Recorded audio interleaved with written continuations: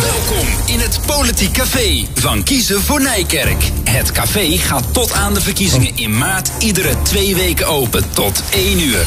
Gesprekken, stellingen, debatten, tegenstellingen. Ze komen dit uur allemaal voorbij. De deur gaat open. De politici, Peter Langbroek en Eli Hakman, ze zijn er klaar voor. Zoals elke twee weken mag ik wel zeggen. En vandaag gaan we het hebben over duurzaamheid en uh, energietransitie. Een verschrikkelijk woord. Ik hoop dat we tegen ene daar een gewoon Nederlands woord voor gevonden hebben. Maar wie zal het zeggen dat de een of ander van de politieke partijen in begrijpelijke taal praat? Oh, kan dat? Dan gaan we het uitzoeken. Oké, okay, dat gaan we uitzoeken. Nou, we gaan eerst een rondje langs de velden doen. Links van mij zit... Harken Dijkstra's, lijsttrekker ChristenUnie SGP. Achteraan de tafel. Harry Bokkers, ik sta op de vierde plaats van de verkiezingslijst voor CDA Nijkerk-Hoevelaken. Hier vooraan. Tom van Valkenhoef, nummer 5 bij de lokale partij. Daarachter, in het midden. Niels Staal, nummer 1 van de VVD. Is dat in het midden ook de politieke kleur van de VVD? Ik heb mijn, ik heb mijn trui erop aangepast vandaag. Ja. Ik heb een campagnetrui aan. Oké. Okay. Een gast hebben we daar rechtsachter. Ja, geen politiek. Voorzitter van de stichting Leefbaar Duurzaam Nijkerk. DJ heet ik. Uh, ik woon in de, in de wijk Korlaar. Oké, okay. en hier vooraan? Ik ben Shamara Ooyevaar en ben van dan is, uh, die was, wat, die was wat, uh, wat moeilijk verstaanbaar. Ja, een beetje zacht. Zal ik nog harder doen? Ja, hoor. Als je de microfoon iets rechter wilt zetten. Ja. Zo, Zo? En, dan nog, en dan vlak erin praten. Nog ik ben Shamara Ooyevaar van Pro21 en ik sta op nummer 5. Oké. Okay. Um, dat was wat betreft uh, de introductie. Als u door het beeld um, aan Gersma ziet lopen, dan is dat uh, onvermijdelijk. Hij uh, maakt foto's en die foto's die zijn onder andere van belang voor het lijsttrekkersdebat dat wij 10 maart gaan houden vanuit de Streams Bredebeek. Um, ja, dat, tot zover gaat het goed? Tot zover gaat hij helemaal prima. Wij hadden het net over het woordje energietransitie. En zei van wat een verschrikkelijk woord is dat. En kan het niet in gewoon Nederlands?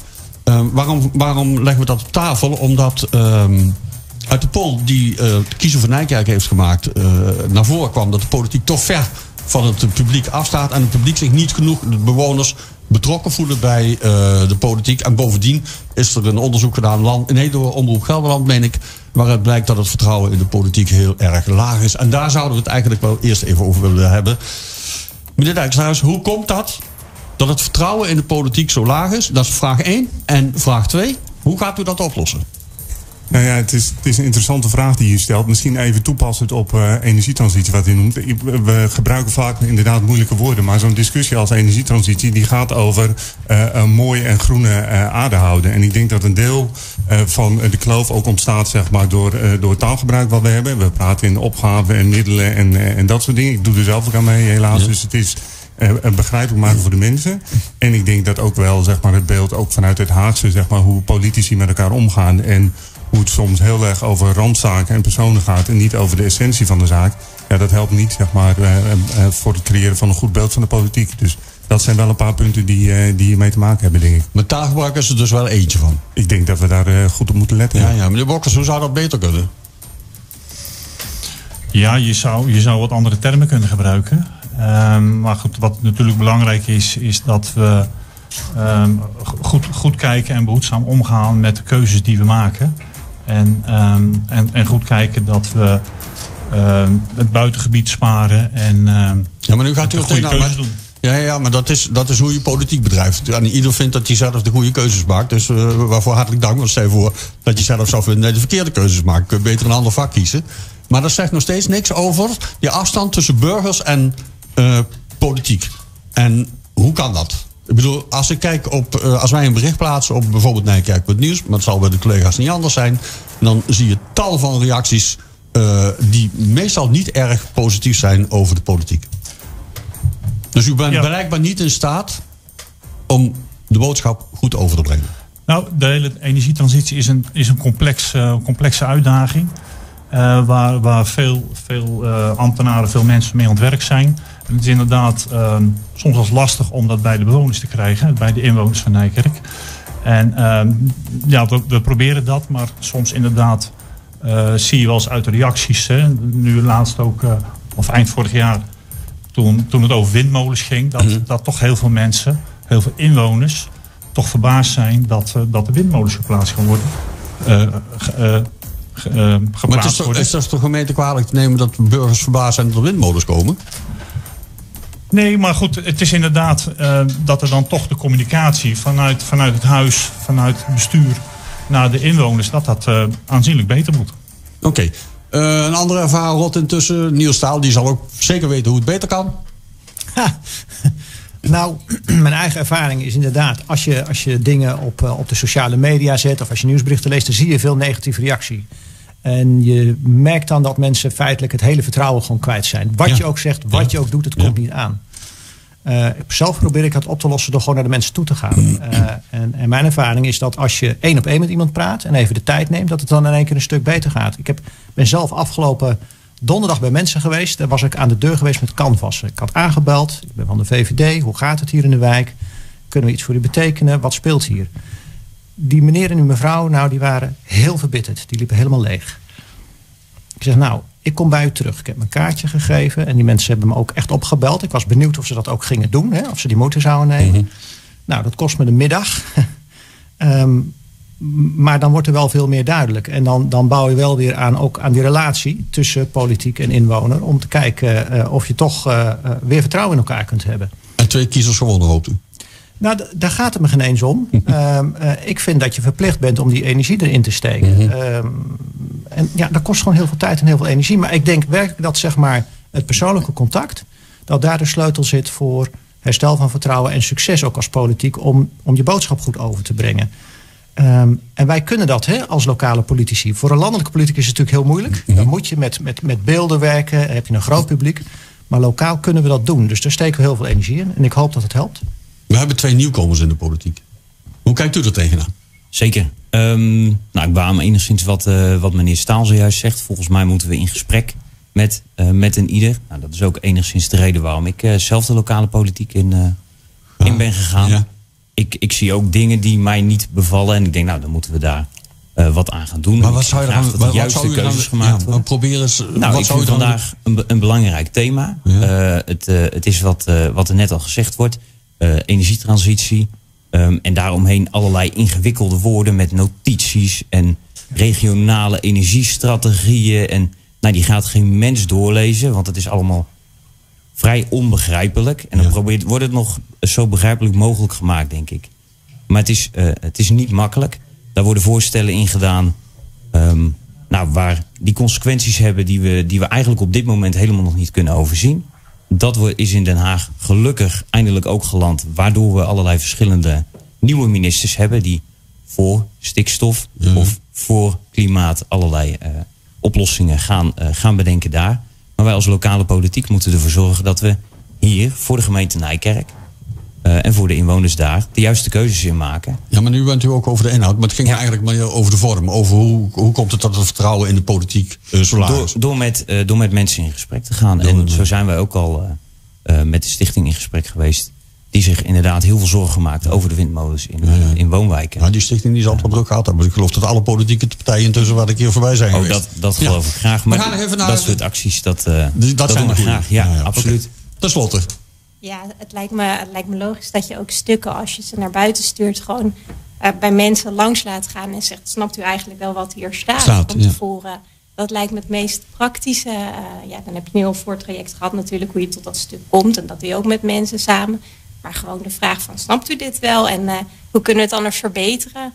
Ik heb ook de energiebesparingsvoucher langs zien, zien komen. Maar een andere gemeente heeft het gewoon groen voor, poen voor je groen genoemd. Ja, Ik bijvoorbeeld. dacht, nou, Ja, ja. Ja, Dat, dat snap ik tenminste.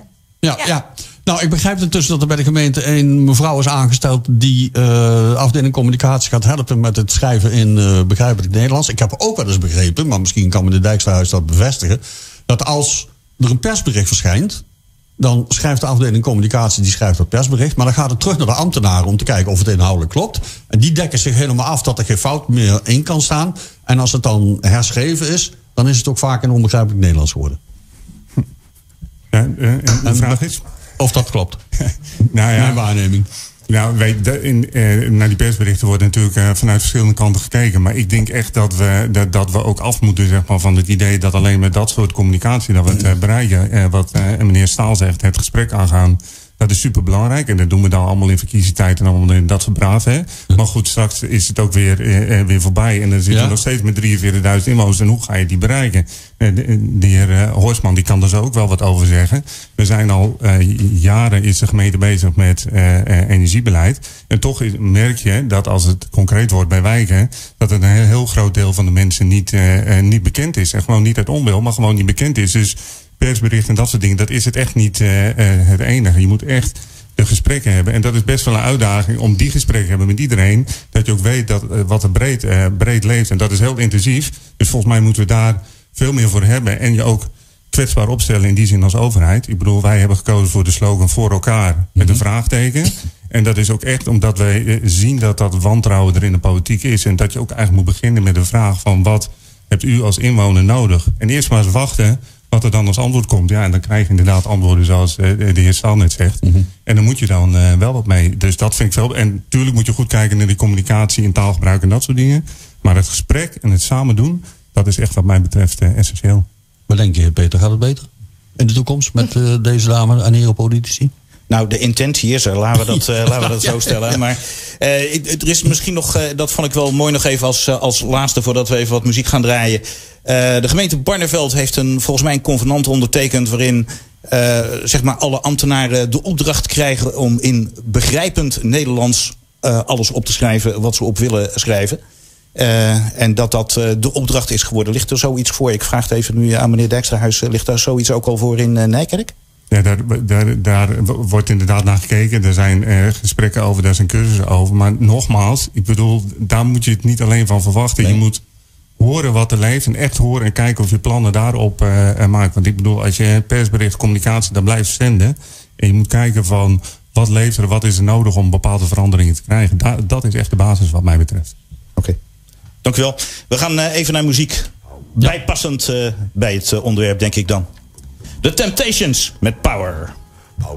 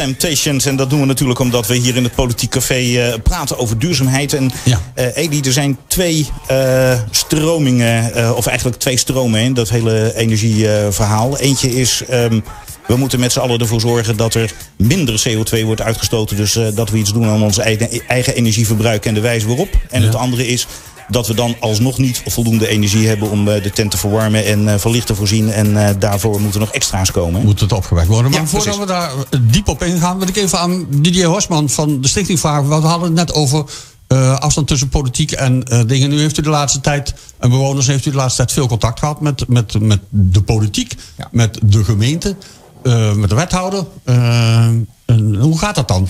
Nou, ik, ik denk dat een waardevolle toevoeging is, is dat de, de lokale politiek hier heeft natuurlijk een achterstand. Landelijk is er natuurlijk al ontzettend schade als het gaat om vertrouwen in de politiek. Eh, De politiek is een, is een lomp apparaat wat maar doet wat ze wil. Ministers treden af, hebben een selectief geheugen. Ik kan zo nog uren doorgaan.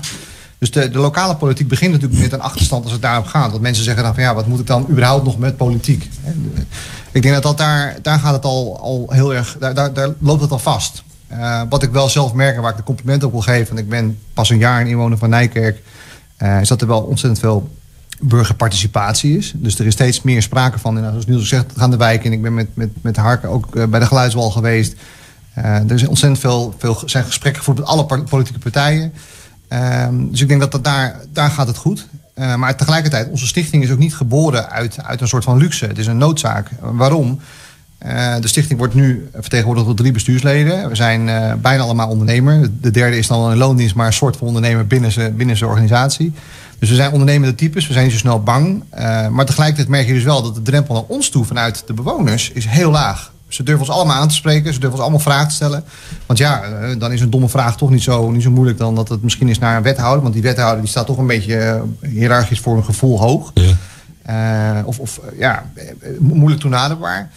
Ehm, en dan merk je dus dat je als stichting zijn vragen krijgt die je kan beantwoorden, maar ook kan doorzetten. Ehm, en dat is denk ik een heel interessante. En dat maar dan, en, en, in- en dat contact gaat, als je, dus zegt, als je een onderwerp hebt waarbij je bij betrokken bent en je zoekt dan de politiek en de, en, en de bestuurders op, dan gaat het wel goed, zeg je. Los Nou- los van of je het eens bent, dat doet er niet toe, Nee. inhoudelijk, maar dat, dan zijn ze best benaderbaar. Ze zijn ontzettend benaderbaar, want Ja, het zijn ja. allemaal gewoon mensen. En, en eh, tussen de muziek door zit je ook gewoon gezellig te kletsen met elkaar. Ja. En ik denk dat wat Niels zegt, hè, die gaat dan langs huizen. Nou, dat is lijkt, lijkt mij vrij intensief met, met, eh, met het aantal inwoners dat we hebben. En, en uiteindelijk uit- moet je ergens beginnen. Maar uiteindelijk vertegenwoordigen wij misschien dan nu wel een groep mensen. eh, Toch wel een beetje Corlaar plus. Ehm, en het gevolg is dat wij dan ook wat makkelijker misschien toenaderbaar zijn. En, en eh, wat meer het geluid kunnen geven wat er nodig is. Oké, tot zover. Heb jij een, eh, wat voor huis heb jij, eh, Peter? Ik heb een eh, twee onder één kap. Een, maar een eigen huis of een Ik heb een eigen huis, ja zeker. Een eigen huis of een nieuw huis. Maar hoe bereid jij je voor op, op, de, op de toekomst dat eh, het gas je huis uit moet en dat... eh, ja, gaan we door?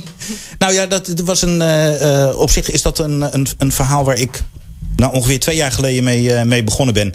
Ehm, ik zit in, eh, in een huis dat eh, is opgeleverd in 1990 en dat zat precies overal tussenin. Weet je, de ehm, eh, isolatie is net niet goed genoeg, de verwarming moest net te hard werken, ehm, het glas moet vervangen en al dat soort zaken nog meer. En ik kom dan. Ik beter verkopen. ja, maar dan krijg je een ander huis waar je hetzelfde mag, mag gaan doen. Dus ik ben, eh, vorig jaar ben ik begonnen met eh, mijn eigen energietransitie, om het zo maar te noemen. En met voor te bereiden op van wat moet er dan wel. En een van de zaken die we, ehm, denk ik, eh, waar we helemaal naartoe moeten, is dat we niet meer zo'n hoge gasrekening hoeven te hebben. Of je nou wel of niet op gas stookt. En eh, wat je daarvoor doet, is verwarming die minder heet water nodig heeft. Dus ik ben begonnen met mijn huis van vloerverwarming te voorzien. Dat is in ieder geval stap 1. En toen ik toch gelijk de zolder aan het vervangen was, eh, heb ik ook maar eventjes het, eh, het dak geïsoleerd. Dus daar zit nu in plaats van een isolatiewaardetje anderhalf zit een isolatiewaarde 5 op. Dus dan gaat er ook veel minder je dak uit. Maar wat je dan doet, is, dat doe je op eigen initiatief. Dat doe ik, ja, dat moet ik zelf investeren, ja. Ja. Is dat een goede zaak? Eh, laat ik beginnen met het Dijkshuis. Dat individuen zelf aan hun eigen huis wat doen? Of is daar ook een soort van regierol voor de gemeente? En dan niet alleen voor koopwoningen, maar misschien nog wel meer voor huurwoningen? En dat zijn al een aantal vragen achter elkaar. Ik, ik vind het een heel goede zaak dat eh, dit initiatief genomen wordt. En ik zie dat ook breed in, eh, in, in Nijkerk terug. Dat er heel veel belangstelling is om, eh, om dat te gaan doen. En dat, dat je inderdaad met kleine stapjes op het moment dat je gaat verbouwen... kunt kijken van wat kan ik nu doen zeg maar, om te verduurzamen. Dus Daar ben ik heel blij mee dat dat gebeurt. En dat leeft ook echt heel erg breed in onze gemeente. Dus daar moeten we niet over somberen. En natuurlijk zit er wel eh, een, rol voor de gemeente. Dat kun je stimuleren met duurzaamheidsverleningen, subsidies die er ook vanuit het eh, Rijk komen. En zeker eh, richting huurwoningen of mensen die minder te besteden hebben, ook in koopwoningen. Ja, daar ligt echt wel een rol van de gemeente om ook te kijken hoe je die extra kunt helpen. En hoe zou u vanuit het CDA dat willen doen dan? Nou, er zijn, er zijn natuurlijk eh, verschillende mogelijkheden voor subsidie. Eh, er is landelijk is er ook een eh, isoleerprogramma ehm, eh, voorgesteld, waar, waar flink wat miljoenen in zitten. Dus ja, het is belangrijk dat de gemeente daar ook aanspraak op gaat maken om, om gelden te krijgen voor, voor in ieder geval de, de huishoudens die, die wat meer moeite hebben om, om die isolatie en, en, en al die voorzieningen te treffen. Is het eigenlijk zo dat er over dit soort dingen tussen de verschillende partijen ook verschillen van opvatting zijn? Of zijn we het allemaal daar wel over eens? Ik zie Stalen een beetje knikken. Nou, ik denk dat het een hoop.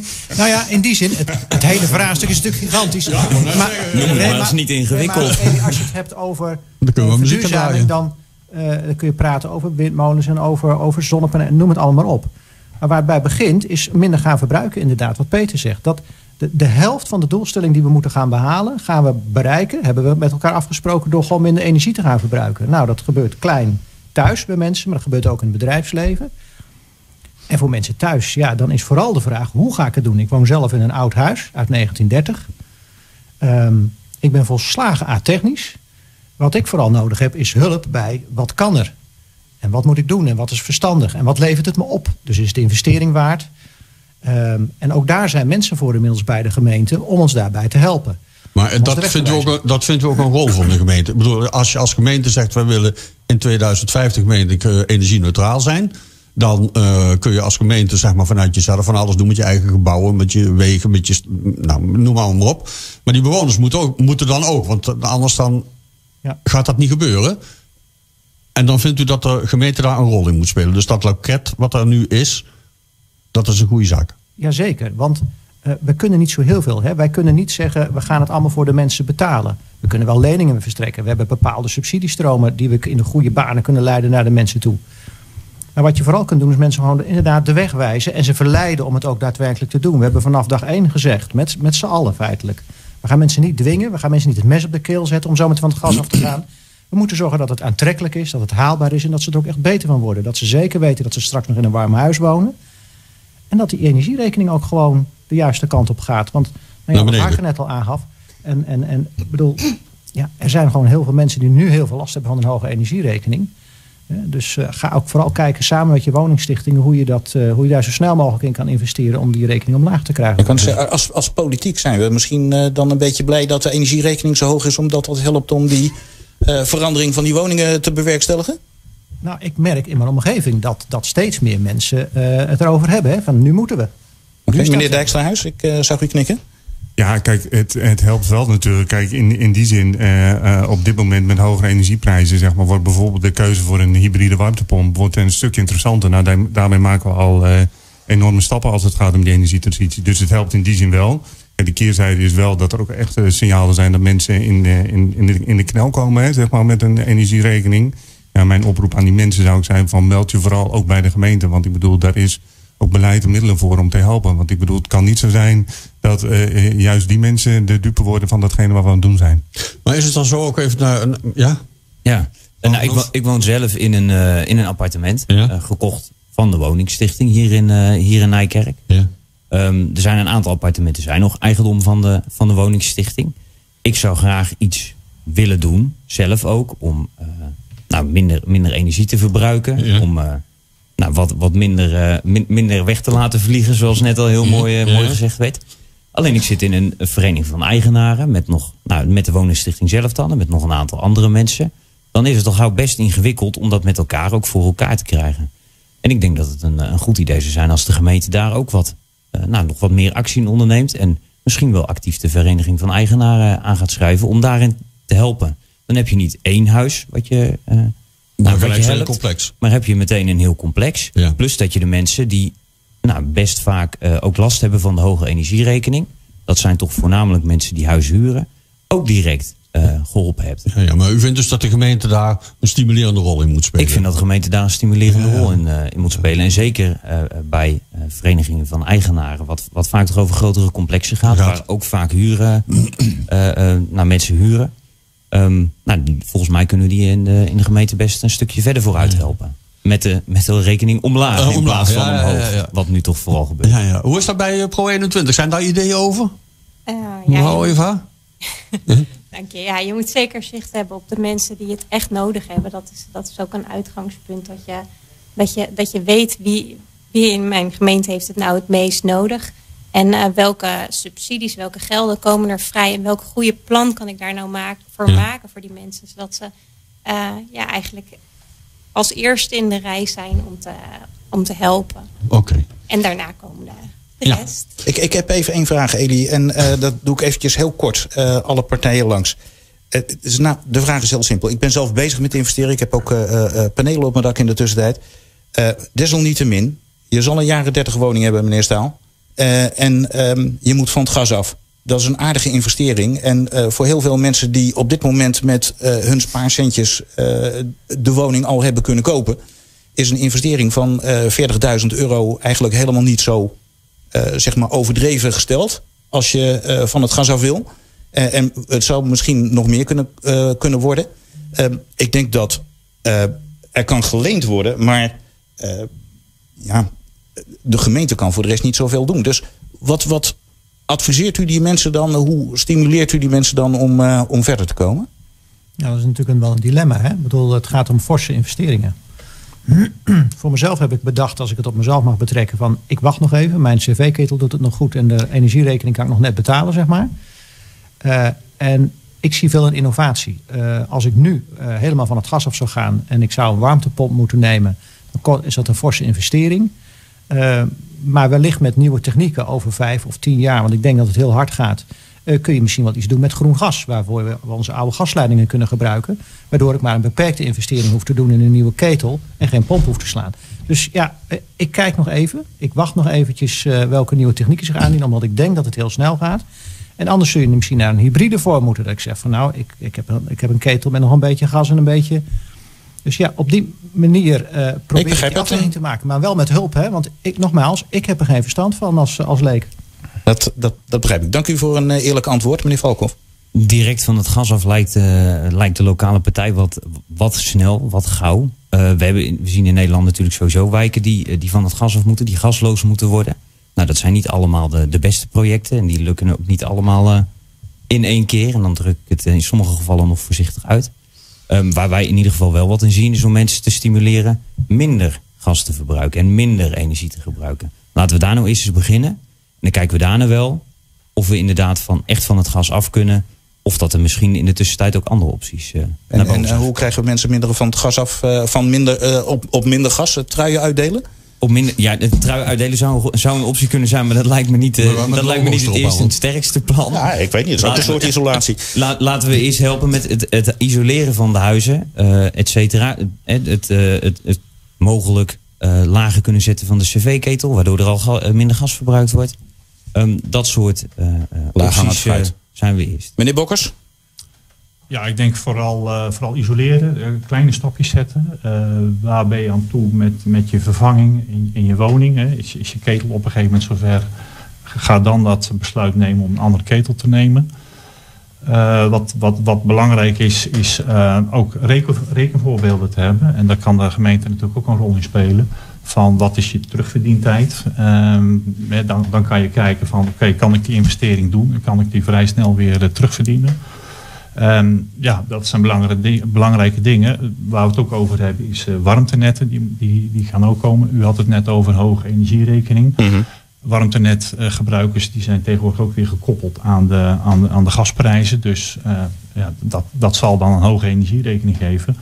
En dat, dat moeten we ook niet willen natuurlijk. Nee, maar de nieuwe minister die heeft al aangegeven dat hij daar ook eh, maatregelen op wil nemen om dat, eh, te los te koppelen. loskoppelen. Ja, dat, is een, dat is een goede zaak, want anders ja, geeft dat ook weer een rem natuurlijk op, op de investeringen die je wil doen. Maar ik denk dat het belangrijk is ook eh, rekenvoorbeelden. Eh, hoe, hoe kan je snel voor, eh, stappen zetten en, eh, en geld besparen en eh, minder investeren. Oké, mevrouw Ooyevaar? Ja, de belangrijkste dingen zijn natuurlijk al gezegd. Mhm. Isoleren en eh, ja, voorbeelden geven. Maar ja, als ik echt denk, waar zit ik op te wachten? Dan is dat een, echt een eerlijk en betrouwbaar advies van iemand. En dan komen we weer bij het eerste punt. Ja, ja, ja. Zou toch van de overheid Ja. moeten komen. Ja, even als eh, laatste nog. Meneer ja. Dijksterhuis, eh, wilt u nog iets toevoegen? Nee, ik ben heel erg eens met wat al eh, geopperd is. Wat, wat wel belangrijk is, eh, eh, wat u ook zegt, eh, we kunnen het niet met z'n allen zelf betalen. Dus het zal ook heel belangrijk zijn dat ook het Rijk over de brug komt met, met middelen hiervoor. Zeker als we straks eh, verder gaan. En daarom is het ook belangrijk dat, dat je juist ook in regionaal verband en, en landelijk eh, eh, samenwerkt om dat ook eh, af te dwingen op langere termijn. En na verloop van tijd ook kunnen kijken of je wat bepaalde wettelijke maatregelen kunt nemen. Ik noemde net die hybride warmtepomp. En wat mij betreft wordt dat straks landelijk verplicht versteld. Zeg maar, dat op het moment dat de cv-ketel afgeschreven is, dat je dan eh, er geen nieuwe, maar een hybride. Ik bedoel, dat zijn eh, een makkelijke maatregelen. Ik, ik, eh, even als eh, afsluiting, want we gaan ook even naar het nieuws van het half uur. Eh, even als laatste eh, reactie daarop. Ik zit na te denken over een hybride warmtepomp, omdat ik mijn vloerverwarming heb op dit moment. Ehm, ik zit tegelijkertijd na te denken over het effect wat het heeft op mijn buren. Want een hybride warmtepomp betekent wel een unit aan de buitenmuur. Als iedereen bij mij in de wijk dat gaat doen, dan hebben we een continue, ehm, ja, een continue bron in de wijk. En ik weet niet of we daarop zitten te wachten, moet ik zeggen. We gaan even naar het eh, nieuws van het half uur, eh, lieve mensen. En daarna zijn we bij jullie terug met het Politiek Café. Dit is Regio Actueel met de hoofdpunten uit het nieuws. Dit is Peter Juda met de hoofdpunten uit het radionieuws. Premier Mark Rutte ontkent tegen de Telegraaf dat hij in de race zit om Jens Stoltenberg op te volgen als NAVO-secretaris-generaal. De voormalige Amerikaanse president Mike Pence zegt dat Donald Trump het bij het verkeerde eind had toen hij zei dat Pence de uitslag van de verkiezingen van 2020 kon blokkeren. De kustwacht van IJsland heeft na een lange zoektocht het wrak teruggevonden van een vliegtuigje dat sinds donderdag werd vermist. Aan boord van het toestel waren de piloot en drie toeristen, waarschijnlijk uit Nederland, België en de Verenigde Staten. Niemand heeft het ongeluk overleefd. En uit onderzoek van het AD blijkt dat tientallen producten die van de markt zijn gehaald omdat ze onveilig bleken, toch online worden verkocht op websites als AliExpress, Amazon en bol.com. Het weer in het noordwesten bewolkt, elders eerst nog zonnig en tot de avond droog, bij maximaal 8 graden. En tot zover de hoofdpunten uit het radionieuws. En wij gaan weer eh, verder met het eh, Politiek Café hier. eh, ja, de, de, de sfeer is zeer geanimeerd, eh, kan ik zeggen. En dat is, dat is wel mooi. Tot en met allerlei opmerkingen over wel of niet eh, warmtepompen en Ah. eh, de consequenties. Eh Elie, Een Valentijns cadeautje. een Valentijns cadeautje, wat leuk. Ja, van eh, Namens eh, de, lokale partij. Kijk, nou, leuk. een mooi rood, Maar rood hart. Ja. Eens even kijken of we zaken kunnen doen. We hebben het net gehad over eh, zeg maar het, het be- beperken van je energiegebruik. En over eh, de warmtevisie en wat er allemaal eh, aan te pas komt. Maar er moet ook energie opgewekt worden. En het idee is om dat te doen met zonnepanelen en windmolens. Windmolens, ja. En windmolens. ehm, Turbines moeten we dan zeggen, hè? moeilijk woord. hoe, wat denk Turbines. Ja, gewoon windmolens. Laten we nou zelf beginnen met het gewoon, gewoon Nederlands te praten. Oké. En daar is, ehm, je kan wel zeggen, heel veel over te doen. Als ik het kort probeer te schetsen, want zij moet antwoorden, niet wij. eh, dan is het zo dat de gemeente daar een idee over heeft. Die heeft op een gegeven moment laten, laten weten dat er zonnepanelen zouden moeten komen. En twee windmolens, eentje zeg maar, bij de McDonald's en eentje bij Vreugdeneel. Zo kort door de bocht. Ongeveer. Ehm, en dat, dat dat dan een plan was en dat dat dan voorgelegd zou moeten worden aan eh, de goede gemeente. of dat iets, goed iets, iets, iets, ietsjes genuanceerder. Nou, er dan. zou onderzocht moeten worden Oh. ja, of het mogelijk is om op die plekken iets te plaatsen. Ja. Dat, dat is wat ik ervan begrepen heb. Oké. En, andere, en andere plekken waren er dan even niet meer in overweging. Die waren er eerst wel, maar die zijn er nu niet meer. Die zijn er nu niet meer. Klopt het, eh, meneer Dijksterhuis, dat er twee windmolens moeten komen bij eh, aan de ene kant Vreugdeel en aan de andere kant de McDonald's? Nou ja, de, de, het plaats van die windmolens daar is geen do- doel op zich. Wat meneer eh, Langers zegt, dat klopt helemaal. Er is afgesproken om te onderzoeken wat er eh, mogelijk is. En daar is op basis van eerder onderzoek wel het idee dat er, als we het over de windmolens hebben, eh, twee windmolens langs de A28 eh, mogelijk zou moeten kunnen zijn. Eh, en waar dat dan precies is en hoe hoog en dat soort dingen moet eh, eh, onderzocht worden. En het zou ook kunnen eh, dat het eh, twee worden bij de McDonald's. Het kan ook zijn dat het één wordt of geen. Ik bedoel, dat moet onderzocht worden. Op basis van eerste onderzoeken blijkt dat er mogelijkheden lijken te zijn. En, en nu moeten we het verder onderzoeken van wat er wel en niet kan. En wat ik dan niet begrijp is dat eh, de VVD in één keer komt met... eh, wij eh, willen voorlopig geen beslissing totdat duidelijk is welke randvoorwaarden er moeten komen. En dat de lokale partij zegt van wij willen geen windmolens in de woonwijk. denk je, dat is toch allemaal maar gewoon voor de bühne? Dat is toch allemaal maar gewoon omdat de verkiezingen eraan komen? Want er is toch een heel traject waarin onderzocht wordt... waar die windmolens dan wel of niet moeten komen? Ja, Nou, ik denk dat het eh, grootste probleem over deze windmolens niet, niet is dat die wel of geen energie opwe- opwekken. Of dat die wel of niet eh, nou, voor de duurzaamheids- eh, en de Ja. energietransitie goed zouden zijn. Ja. Maar er zijn wel een aantal punten. We kunnen in dit geval, om het even heel zwart-wit te zeggen, het klimaat wel gaan redden. Maar als we daarmee ons eigen leefmilieu in Nijkerk naar de knoppen helpen, weet ik niet of we daar echt mee, mee geholpen zijn met Nee, maar dan is het wel een beetje simpel om te zeggen van... eh, geen windmolens in de woonwijk. Nee, dat is ook eh, dat ik, bedoel, is ik, denk, mogelijk. ik denk dat geen, geen, geen mens eh, binnen de gemeente zegt... we willen een eh, windmolen in de woonwijk. Nee, nee, ik zie het ook niet voor me dat er naast, mij, na- Nee. naast mijn eigen Nee, huis een waarom windmolen waarom verrijst. dan, waarom dan zo'n kreet? Het is toch gewoon... Nee, de, kreet, de kreet is misschien wat, wat eenvoudig. Maar ook als je windmolens in de buurt van een wijk plaatst... dan staat hij er misschien niet letterlijk in. Maar is het effect in de woonwijk wel degelijk voelbaar. Ja. En ook daar eh, eh, wordt op dit moment verder landelijk nog, eh, nog onderzoek naar gedaan... wat eigenlijk de effecten zijn. Ja. Ehm, er zijn stichtingen die pleiten voor minimaal eh 1000 meter afstand. Ja. Nu, is, nu is het minimaal 400 meter. Ja. Nou, dat is alsof je hier op 100 meter van de, van de kerktoren gaat staan hier in Nijkerk. Dat is niet heel bijzonder ver. Ehm, en je hebt wel degelijk mogelijke gezondheidsschade voor, voor inwoners in die woonwijken. En daar, eh, daar passen wij voor nu in ieder geval eh, wel even voor. En dat gaat niet enkel om twee windmolens. In de energiestrategie is afgesproken dat er in Nijkerk wel 11 windmolens moeten komen. Dat is eh, best een fors aantal. Dat, dan heb ik gelijk toch even een vraag eroverheen. En dat is, ehm, ik snap de twijfel. En ik snap ook eh, de heroverwegingen eventueel. Ja. Eh, wat ik niet zo goed begrijp in de reacties... ehm, en dat bedoel ik niet vandaag aan tafel, maar gewoon in het algemeen... is het is altijd makkelijk om te zeggen van... dat wil ik in ieder geval niet. Maar ik hoor te weinig en dit wil ik wel. Ja. En dat lees ik ook in geen enkel verkiezingsprogramma. Wat willen jullie dan wel? Want laten we even wel zijn. Hè? Meneer Staal die heeft het net ook goed uitgelegd. Op het moment dat we ehm, toekomen aan energiebesparing in de woningen. We hebben het nog geen eens gehad over de industrie. Wordt even buiten beschouwing gelaten. Dan hebben we nog steeds een massa aan energie nodig. Van andere bronnen om de tent draaiend te houden. Ja, eh, zonnepanelenvelden zijn er eentje van. Windmolens zijn een andere. Wat is het alternatief? Dus op het moment dat jullie iets niet willen... met de tijdsschema's die we hebben... wat willen jullie dan wel? Nieuw staal, laten we daar maar mee beginnen. Ja, wat willen we wel? Een optimale mix. Ehm, ik denk dat eh, Peter het eh, heel goed zegt. Eh, het Hij is heeft niet- zich ook helemaal ingelezen in het onderwerp. Nou, dat is mij wel duidelijk. Ja, ja. Het is niet of-of. Je kunt niet zeggen, ik wil eh, wel wind, geen zon of, of iets anders. Ik denk dat we alles nodig hebben. We hebben zonne-energie nodig in de toekomst. We hebben windenergie nodig in de toekomst. hè. We hebben niet voor niks hele grote windparken al op zee. Maar we hebben ook nog veel andere bronnen nodig. Eh, Kernenergie. kernenergie, eh, zegt Didier hier. Dat is ook een terechte. Gelukkig staat dat nu weer op de agenda als een van de duurzame mogelijkheden voor de toekomst. Als we daarvoor kiezen, dan kunnen we in 2035 een kwart van de behoefte via kernenergie gaan opwekken. Dus wij denken als VVD dat het niet of-of is, maar en-en. Alleen de randvoorwaarde is wel dat je het goed moet doen. En eh, nou ja, wat eh, eh, mijn collega hier net zegt. Je kunt de mensen het redden, maar als de mensen er dan onderdoor gaan, heb je ook niks. Dus je moet goede randvoorwaarden stellen voor het inpassen van dat soort oplossingen.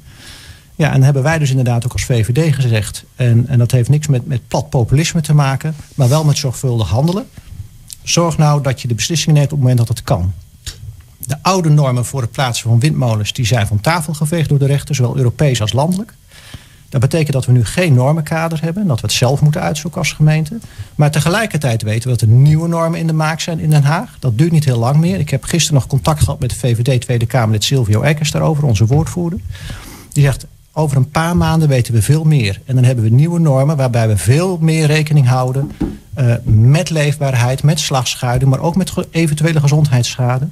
En dan kun je een goed onderzoek doen en dan kun je ook de juiste beslissingen nemen. Dus dat is ook de reden waarom we hebben gezegd, even pas op de plaats. Dat begrijp ik. Maar tegelijkertijd eh, ligt in de opstelling die nu naar buiten komt van verschillende politieke partijen. en die ook allemaal met, met, eh, met die stichting hebben gepraat. pas op de plaats, kalm aan. Eh, of we willen het niet. eh, of we willen het niet in de woonwijk. Ehm, voor mij zit daar een beetje in opgesloten. Alsof ze in de gemeente maar wat doen. Terwijl ik denk dat als ik gekeken heb naar de Er zijn online bijeenkomsten geweest waar een presentatie eh, werd gehouden over welke stappen de gemeente wil zetten. En wie er allemaal bij betrokken wordt om tot een beslissing te komen. Ik lijk de wethouder wel, maar ik zou zeggen dat is toch een zeer afgewogen proces. Of vindt, vindt meneer Horsman dat van niet? Nou ja, ik denk dat het vooral gaat om, om wat ga je doen in welke mate. Ik denk dat het nog aan te haken op da- daar juist het onderwerp eh, een hybride ketel, verduurzamen van je woning. Ik denk dat heel veel mensen niet eens weten waar ze moeten beginnen. Het is allemaal ingewikkeld, het wordt niet Mickey Mouse uitgelegd. Ik denk dat het grootste succes in Nederland, en daar zijn we laatst ook weer geloof ik koploper in geworden, is zonne-energie. Eh, het, wordt, het is ontzettend gecommercialiseerd. Hè. Er zijn heel veel commerciële bedrijven die het in Jip en Janneke taal kunnen uitleggen.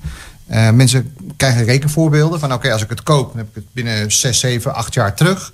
Ehm, dat is allemaal niet te sprake met, met wat je kan doen aan verduurzamen. Als jij je huis gaat isoleren, dan zegt niemand tegen je... nou, als je dit doet, dan heeft het een besparing van zoveel. Eh, ik ben zelf redelijk een eindbaas op het gebied van, van besparen en bezuinigen. Ik heb eh, in Vathorst in Amersfoort heb ik een huis gehad op de stadsverwarming. Betaalde ik mijn schil aan vastrecht. Daarna heb ik een energie-neutraal huis gehad met een aardwarmtepomp. Met genoeg zonnepanelen om het hele huis eh, draaiend te houden.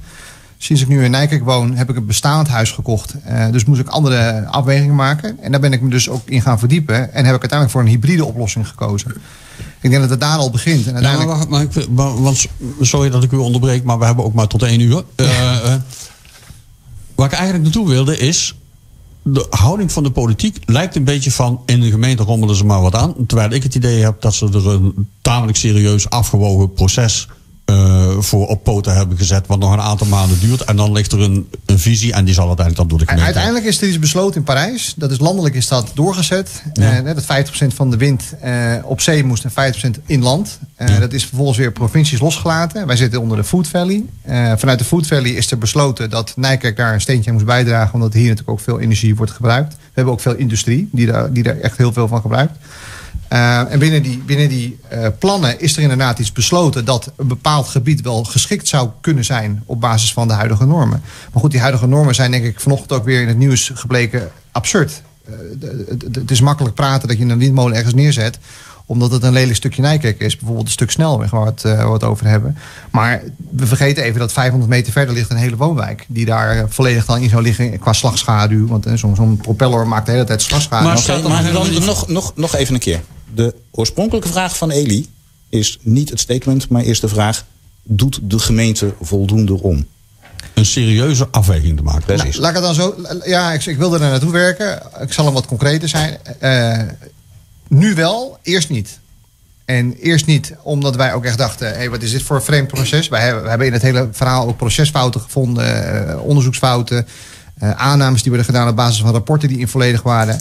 Maar na goede gesprekken te voeren met de politiek, hebben wij wel daadwerkelijk een aantal politieke partijen goed kunnen overtuigen van het Dus- feit dat er andere stappen genomen Dus, worden. dus u zou, Ja, u zou tegen de, tegen de politieke partij willen zeggen: wacht nou maar af, want ze zijn op, goede, op de goede manier bezig. En wij, Nou. en wij vanuit de stichting spelen daar in een of andere klank. Ik denk wel dat we daar een rol in spelen. Ik denk ook wel dat we daar een goede sturing in hebben kunnen geven. En, en uiteindelijk zijn we ook betrokken in dit proces wat nu eh, opgetuigd wordt. En Ja. daar, daar worden wel stappen in gemaakt. Oké. Ik zie tussen Dijksterhuizen echt de hik op de stoel. Ja, heeft volgens mij ook. Ja. Ja, nu, nu geef mij het woord, begrijp ik. Ja. Ja, nou ja, Ja, ik doe het niet via meneer de voorzitter. Nee, nee, nee, nee, maar goed. Ja, ik ben wel blij met uw eh, introductie, zeg maar. Want u neemt mij wel een paar eh, woorden uit de mond als het gaat richting eh, de lokale partij. In de VVD is dit voor de bühne, ja of nee? Ik bedoel, dat ga ik niet herhalen. Maar een paar dingen wil ik er wel over Maar ik zeggen. ben het er wel mee eens. Ja, ik ben het er zeker mee eens, ja. Ehm, eh, wat ik erover wil zeggen, die aanpak, die zorgvuldige aanpak waar we het over hebben, die hebben we met z'n allen gekozen. Daar heeft de hele gemeenteraad ja tegen gezegd. En dat is ook een opdracht waar de wethouder mee op, op pad is gestuurd. Als je dit soort dingen nu doet, zeg maar, inclusief een filmpje met een, eh, met een windmolen in een park voor cola waar ze never nooit gaan komen, dan suggereer je andere dingen, zeg maar. Blijf achter je opdracht staan die je gegeven hebt. Dat is ook vertrouwen in de politiek. Dat is één ding. Dat verhaal over die normering, die, dat loopt inderdaad. Dat kunnen we prima meenemen in die aanpak die we doen. De aanpak voor het onderzoek moet nog voor de raad vastgesteld worden. Dus de VVD kan wat inbrengen, zeg maar, als we dat behandelen. Maar dat is waarschijnlijk niet nodig, want ik schat in dat het college met een voorstel komt om gewoon die afspraken uit dat landelijk onderzoek mee te nemen. En als het duidelijk is, maar van ook wat de Christing SGP betreft, als er negatieve effecten zijn qua gezondheid en leefbaarheid, dan komt die er gewoon niet. Ik bedoel, als die te groot zijn. En ja, wat ik een beetje kwalijk vind in dit soort suggesties. Ik ben benieuwd wat de VVD zegt tegen de bedrijven die zich melden. Die zeggen, die windmolen bij Smitsmol, kom maar door. Want wij willen transitie naar waterstof. En daar hebben we het heel hard nodig. En ik bedoel, dan rem je, als je dit soort geluiden geeft, rem je die ontwikkeling. Het laatste wat ik erover wil zeggen, en dat mis ik echt in dit debat. We doen het niet voor niks. We doen het voor de generaties na ons, zeg maar. We doen het om de aarde mooi en, en groen te houden. En laten we ook met elkaar beseffen dat we dat ook uitstralen in de discussie die we hier over voeren. En dan nog steeds moet je zorgvuldig doen. Maar dat staat wel voorop. En dat is een lange termijn perspectief. Wat je ook over verkiezingen heen, wat mij betreft, vast moet houden. Niels Staal wil vastreageren. Ja, nee, ik kan me voor een belangrijk deel vinden in wat de wethouder zegt hoor. Eh, in die zin, in die zin. Dan is Philipje helemaal overbodig. Sorry? Dan is Philipje van gisteren helemaal overbodig. Nee, geen zins. Want het is wel degelijk van belang om eh, die nieuwe normen te gaan betrekken. Het is niet onze bedoeling als VVD om onnodig op de rem te gaan staan. Dus datgene wat je nu wel kunt doen, eh, samen met het bedrijfsleven, maar ook als het gaat om zonne-energie en andere locaties die minder gevoelig zijn, ga vooral door. Maar dit moet nou eenmaal consequenties hebben, nieuwe normen, voor de manier waarop je onderzoek doet. En je kunt het maar één keer goed doen. Je kunt maar één keer het geld voor participatie in onderzoek uitgeven. Dus wat ons betreft is van belang dat je dat op een juiste manier doet, inclusief de nieuwe normering. Ik hoor nu van de wethouder dat hij zegt, wij kunnen dat erin passen en wij kunnen dat helemaal meenemen. Wij zullen dat kritisch volgen. Ik laat me graag overtuigen. Want nogmaals, niemand heeft dat aan vertraging. En ik denk dat we het allemaal eens zijn over de inzet om te vergroenen en te verduurzamen. Maar je moet het wel verstandig doen. En dat is het punt wat we hebben gemaakt. Ah, Dan heb, dan heb ik. Ik- ik- als inwoner heb ik wel degelijk iets aan ver- vertraging. Want eh, het kan zo zijn dat we nu beslissingen nemen op basis van bepaalde behoeftes die er zijn uitgesproken door Parijs, door Nederland. Eh, maar er zijn nu ook weer beslissingen genomen dat gas in één keer groen verklaard is. En kernenergie is inderdaad groen verklaard. Ik heb hem snel even gegoogeld. Maar borstelen is goed voor 160 van die reusachtige windmolens. Dus één zo'n zo'n borstelen copy-paste die ergens neergezet wordt in de polder, waar, waar niemand last van heeft, kan dus een 160 windmolens schelen. En dat vertragen kan dus ertoe leiden dat als de landelijke politiek zegt... nou jongens, we gaan inderdaad daar een paar plekken aanwijzen waar zo'n kerncentrale komt. Dus inderdaad hoeven we minder windmolens te plaatsen. Dan kan het betekenen dat dat vertragen binnen Nijkerk wel degelijk effect heeft... dat het inderdaad niet nodig is. Maar tegelijkertijd, eh, want die vraag die heb ik dan. Ehm, wat ik niet snap. Eh, we hebben een proces ingezet waarin we aan het onderzoeken zijn. Onderzoeken doe je op basis van normering. En op het moment dat de normering tijdens het onderzoek verandert, dan pak je die nieuwe normering mee. Dat lijkt mij op zich niet meer dan logisch. Eh, meneer Bokkers, wij hebben tijdens een ander interview, eh, wat ik met u heb mogen houden, eh, daar ook al even kort over gesproken.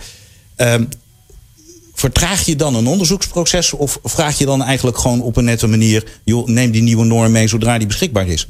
Dan hoef je toch niet te zeggen van nee, er komen geen windmolens of we gaan er voorlopig niks mee doen. Wij hebben inderdaad schriftelijke vragen gesteld over, over de norm en de afstand van. Ja, u van was de. VVD voor, hè? Eh, Wat dat betreft wel. ja, wij waren ergens half januari eh, met, met, met Ja, daarom. Nee, dat we dat even helder hebben. Dus eh, wat voor het CDA belangrijk is, is dat, ehm, dat, dat de, de inwoners geen last hebben van, van windmolens. En windmolens hebben een behoorlijke Maar impact. dat vindt iedereen hier aan tafel.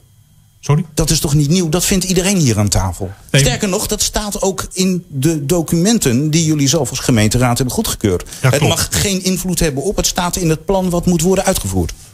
Maar goed, wij hebben daarmee, eh, wij hebben daarmee aangegeven, eh, eh, de gemeente, eh, neem de nieuwe norm mee. Of maak even pas op de plaats tot de nieuwe norm bekend is. Om dat in ieder geval mee te nemen in het verdere onderzoek voor, eh, voor de windmolens. Want het kan een behoorlijke, behoorlijke impact hebben op, eh, op, op het onderzoek. Ja, dat, dat klopt. Er zat ook nog een vraagje bij van... eh, moet de gemeente niet overwegen om het onderzoek uit te stellen, toch? Ja, die, die zat er ook bij. nee, dat is, eh, Ja, nee, dat klopt. Oké. Meneer Dijkstra, u wilde even reageren. Eén punt wat ik graag eh, toe wil voegen aan, eh, aan deze discussie. We zijn begonnen met het gesprek over vertrouwen in, eh, de politiek. En we hebben met elkaar, dan is het belangrijk dat je vasthoudt aan kaders die je zelf gesteld hebt. Niet halverwege spelregels eh, eh, veranderen. Maar los daarvan, zeg maar, de gesprekken die nu gevoerd worden. En u bent er een paar keer bij geweest. Dat is zeg maar, met veel mensen, ook buiten de stichting, een klankbordgroep van 25 man. En iedereen die heeft zoiets van, we moeten wat met duurzaamheid en we willen er eh, eh, eh, wat mee. En laten we dingen onderzoeken. Er is heel veel te onderzoeken, ook zeg maar aan ervaring elders. Dus het domste wat je nu kunt doen is vertragen, want we moeten er wat mee. De samenleving wil er wat mee, zeg maar. We vinden duurzaamheid belangrijk. En wat mij betreft moeten we dat gewoon blijven doen. En dat zeg ik niet als wethouder, ook als wethouder, maar vooral ook als lijsttrekker van de ChristenUnie SGP. Want daarom zit ik hier. U zegt gewoon gas erop. Ah, ja. Beetje ongelukkige term. Nee, maar, en- en- Mag ik dan aanvullen? Als het maar, als het maar groen gas is. Ja. En, en niet onder, en niet onderdacht, hè? want ik bedoel, dat, dat onderzoek gaat over veel meer dingen. Het gaat ook over opslag. Hoe kunnen we beter omgaan met het net? Hoe kunnen we de daken benutten? Dat soort dingen. Toen we door de, dijk, eh, door de wijk liepen, hebben we het daarover gehad. Ga daarmee door. En die normeringen nemen we mee. En daar gaan we zorgvuldig mee om. Maar dit moet je niet stoppen. Gas geven op verduurzamen zeg ik ook natuurlijk 100% ja. Dat heb ik zelf thuis ook gedaan. Alleen dat windmolenverhaal is voor mij echt een aparte discussie binnen dat verduurzamen. En die mag voor mij betreft helemaal vertraagd Ik, worden. ik, ik heb wat over die windmolens wel even één vraag nu. Ehm, ik heb ook even naar de Facebookpagina van uw stichting gekeken. En eh, graag de vraag heel kort beantwoorden. Waar komt het idee vandaan dat er een windmolen komt met een ashoogte van 160 meter en een eh, slaghoogte van 240? Want ik heb het nergens, maar dan ook echt nergens in de stukken kunnen terugvinden. Nee, klopt. Dat hebben we gebaseerd op basis van de energiebehoefte. Die is uitgesproken door de gemeente. Het aantal eh terajoule moet ik dan zeggen. Eh, en aan de hand van die berekeningen kan je eigenlijk vanuit gaan dat die grote monsters er moeten komen. En dat is dan misschien Met een andere, aanname. met, met andere woorden, dat is een aanname. Een aanname, maar wel een gecalculeerde aanname. Ja, oké. Maar, oké. Maar het alternatief zou kunnen zijn, zeg maar, dat uit het onderzoek ook blijkt, zeg maar, dat in de oksel van de afrit eh eh, eh, Nijkerk Zuid een windmolen van 20 meter hoog komt. Dat kan ook de uitkomst van het onderzoek zijn. Maar die doet niks. Nou, dat, dat, is- dat is helemaal niet gezegd. Ik bedoel, kleinere windmolens doen, eh, doen ook dingen. Nee, maar de vraag is, zeg maar. Een kleine windmolen voor een boerderij is leuk om de boerderij te draaien. En dan houdt het op. Wat ik er maar mee wil zeggen is dat het gesprek wat, we- wat er gevoerd wordt nu... en wat we wat mij betreft door moeten zetten... is dat kijken van wat binnen regels en kaders die er zijn... wat er wel kan en hoe we bij kunnen dragen aan een mooiere en groenere aarde. Oké. Oké. Eh, meneer Staal. Ja, ik, nou, afsluitend eh, misschien nog één reactie eh, van de kant van de VVD.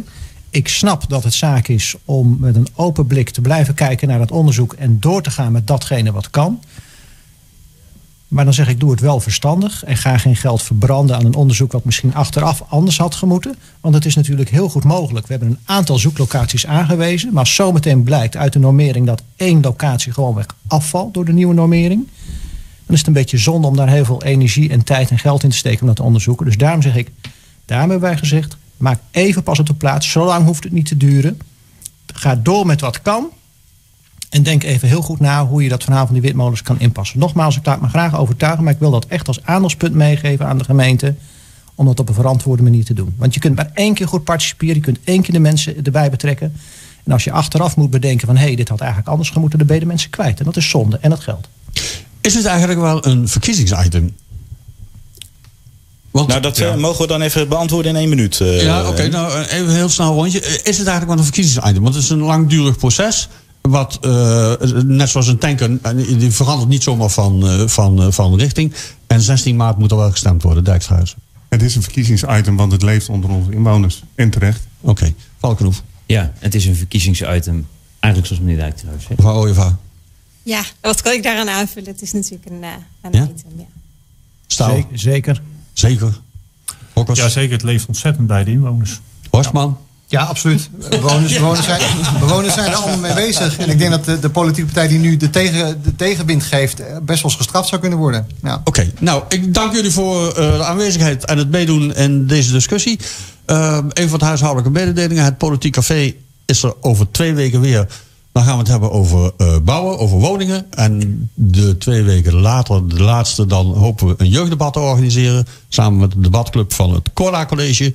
16 februari is er een ondernemersdebat vanuit het Ambt van Nijkerk. Wat ook via deze kanalen allemaal uh, te zien zal zijn. En uh, 10 maart is het lijsttrekkersdebat in Streams Bredebeek. En ook dat zal in alle op alle kanalen te zien zijn. Zeker weten.